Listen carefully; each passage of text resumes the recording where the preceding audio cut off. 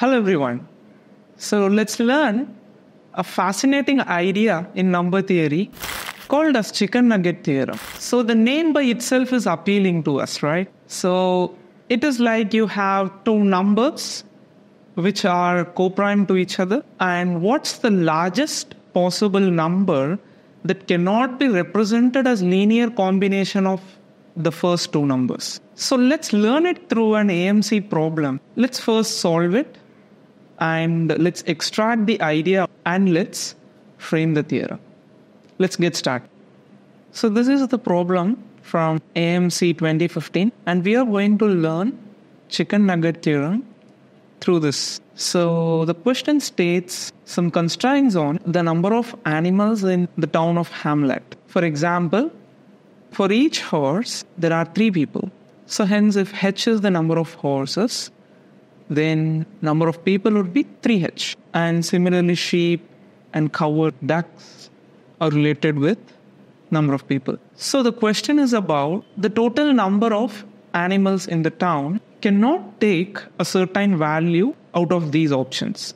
And we have to figure out. So first let's assume the respective variables. Let the number of horses be equal to h and similarly number of people equal to p and number of sheep equal to s and number of cow equal to c number of duck equal to d.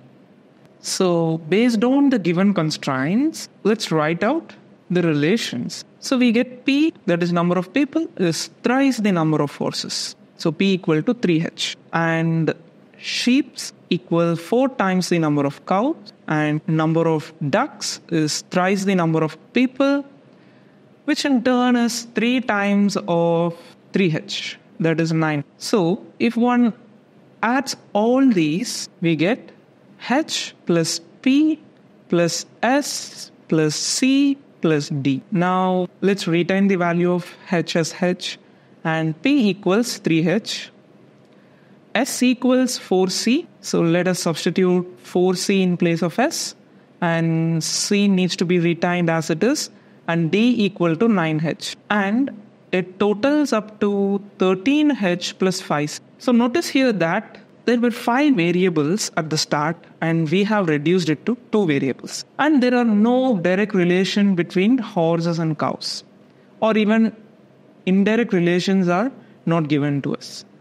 So they are independent. Now, we have to find one of the options of the given phi that cannot be represented as 13h plus 5c.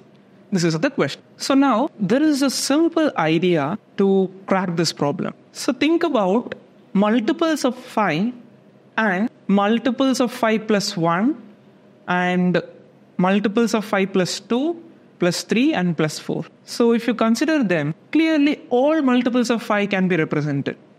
Just we take h as 0 and c as the quotient. But when it comes to some remainder when divided by 5, which is non-zero, then we have to make some constructions or analysis in for some. Notice that h being 0 will only give you multiple of 5.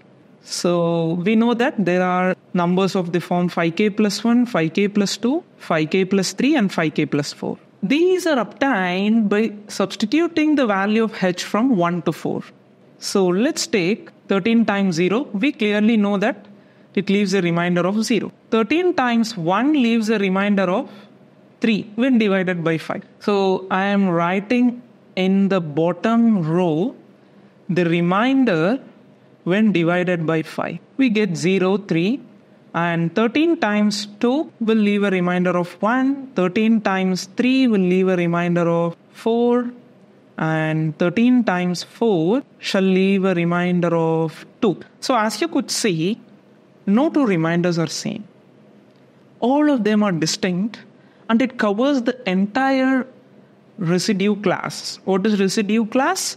Residue class is the collection of all reminders when a number divides some other number. So here 5 divides the number 13h and it covers all the reminders from 0 to 4 from 13 times 0 to 13 times 4. So let's consider the largest number that leaves a reminder of 3 but that cannot be represented as 13h plus 5c. Remember, H and C are H and C are whole numbers or non-negative natural numbers. And also 13 times 1 equals 13. This is the first number that leaves a remainder of 3 when divided by 5. So when you take a step back, you get the number 8 by subtracting 5. Now 8 can't be represented because 13 is the very first number that leaves a remainder of 3 when divided by 5 because C cannot be negative. And moving on to 13 times 2, we have 26. So 26 is the first number leaving remainder of 1. That means if you subtract a 5, you cannot represent 21.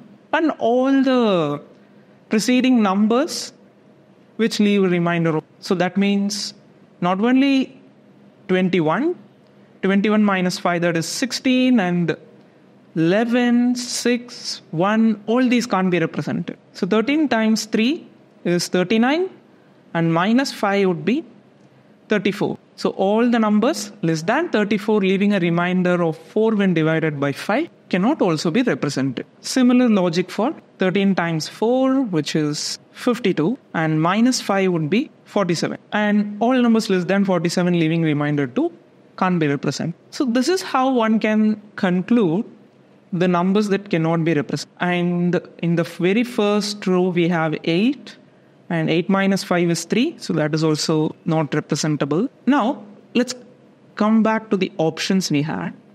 We have 41, 47, 59, 61, and 66. Do notice that any number greater than 47 can be represented, or 47 is the largest number that cannot be represented as a linear combination of 30. So this clearly eliminates the options C, D, and now come to 40. 41 is a number that leaves a remainder of 1 when divided by. That means we have to think about 13 times. Now 13 times 2 is 26, which leaves a remainder of 1 when. If I add appropriate multiple of 5 to 26, I should be able to reach 41, right? Because 41 is a number more than 26.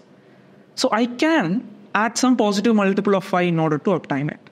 And essentially, it is just by adding 15 to it. One would obtain 40. So 41 is also, and 47 can't be represented because 52 is the very first number that leaves a remainder of 2 and that can be represented as 13h plus 5. So hence, 47 will be the answer that can't be represented. So you have to un- first understand that the set of numbers that leave a particular reminder starts from the least multiple of 13 that leaves the same reminder. If you think about numbers of the form 5k plus 1, they start from 13 times, and by appropriate addition of multiples of 5, you can make it larger as we did from 26 to 41. So, by similar way, we can say that so 13 times 4 is the first occurrence of a number leaving remainder 2 when divided by 5, which means 13 times 4 minus 5,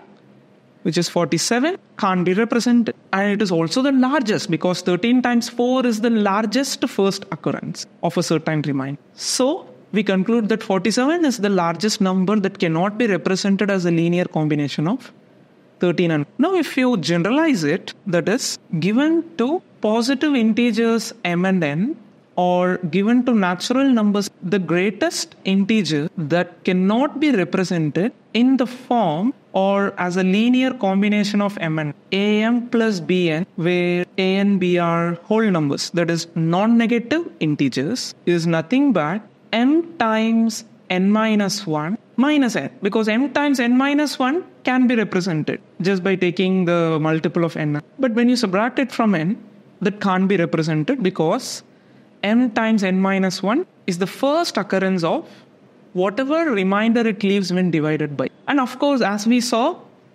this set of numbers m times 0, m times 1, m times 2, all the way till m times n minus 1 constitutes the entire residue class or the set of all remainders when divided by n in some order.